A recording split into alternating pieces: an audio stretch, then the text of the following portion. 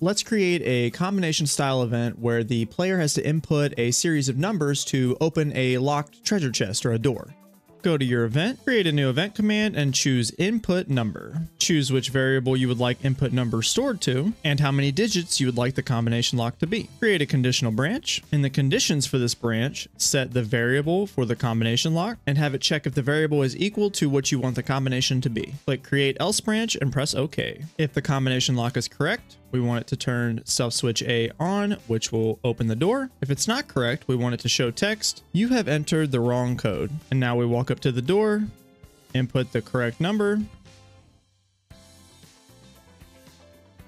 and it opens the door.